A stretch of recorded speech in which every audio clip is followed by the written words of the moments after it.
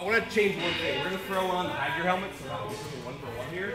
But I want to show how we change the dynamic, right? When we do this, we demo it with our partners, we punch both hands through the hole here. Because I don't want to punch my partner in the face. Right? Just let them keep, keep coming in.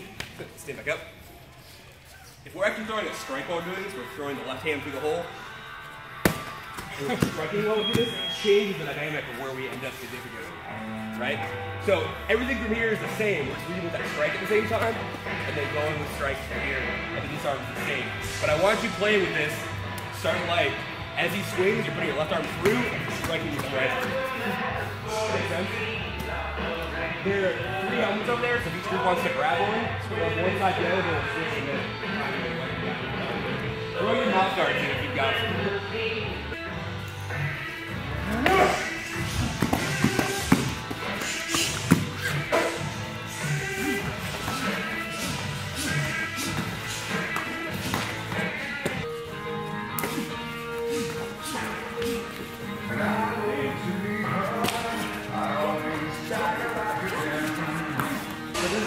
out short.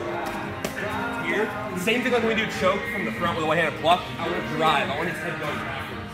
I want to change the momentum of this. So I can go light, but I still want to go backwards. Can't throw this open there. So don't just stop short and bop them a little bit. Actually push their head backwards. Cool?